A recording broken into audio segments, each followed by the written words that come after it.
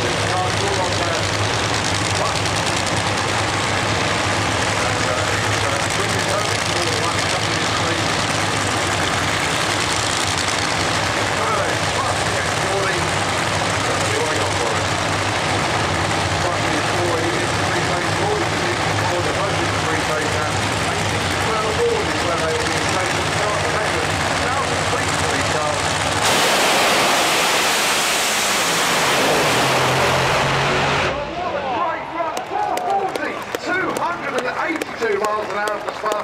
One going through 486, 190. Absolutely storming run.